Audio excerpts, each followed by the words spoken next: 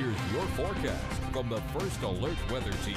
Well, we show this graph on occasion, but now we're at that statistical top of the mountain here in the Atlantic hurricane season. Now, just because we're here, doesn't mean, hey, it's all said and done and we have no issues, right? We know that there have been some formidable storms that come after the peak of the season, including the likes of Hazel, Floyd, Matthew, and another storm, Florence, which at this point, back in 2018, was a formidable Category 4 hurricane in the open waters.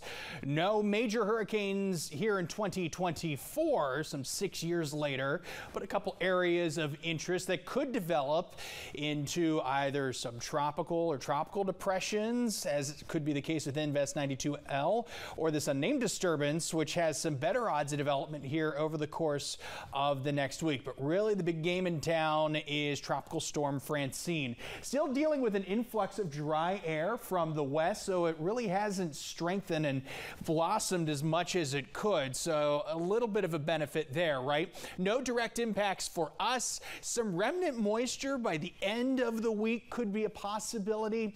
Heavy surf and rip currents not expected, but I will note that those chances likely going to tick up unrelated to that by the end of this week. So worth being careful if you're heading out to the water. 60s for us tonight, 80s again for us tomorrow. So yeah, temps on the cool side, but pretty close to average tomorrow afternoon. Some clouds building in, especially around lunchtime, perhaps the commute home. Maybe you're knocking off early. I want to show uh, our sky cams first and foremost and show you the sunshine and everything that we have right now and also the temperatures that go along with it upper 70s and lower 80s. So we are beginning to cool off. I do want to go back to this, the temperature perspective, because I had to make a couple of adjustments to numbers.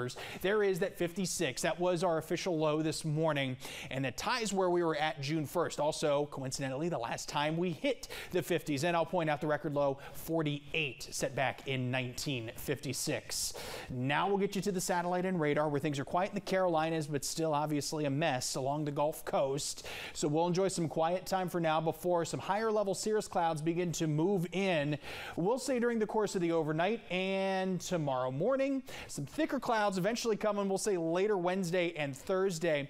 But with those upper level clouds, not a lot of moisture to work with. So your rain chances low for tomorrow. They'll start to incrementally tick up as we get toward Thursday, and I think more so on Friday. See some of that moisture to the south and west beginning to move in. So the umbrella, not a bad idea to close out the week. You'll perhaps need it for the weekend too, but I don't anticipate any huge washout days at this point, despite rain chances being on the elevated side, about 50 50. Clouds going along with that. Temps uh, a little cooler than normal, but upper 60s and lower 70s. The overnights, because of those clouds and showers, John, those are going to rem uh, remain a little bit above average. That pattern takes us all the way through the end of next week. Nice run there of our mm-hmm. 80s, though. I don't see a nine on that board anywhere. I'll tell you what, those that are a fan of cooler temperatures, this, this is absolutely the forecast for them. To counter that, I'll say those that like warm summery temps, maybe stepping outside first thing in the morning, not needing a jacket, I think this benefits them too. Yeah, kind of crisp for everybody. Yes. Not too cold, not too humid. That's the great thing right now. Right. Yeah. All right, Gabe, thanks.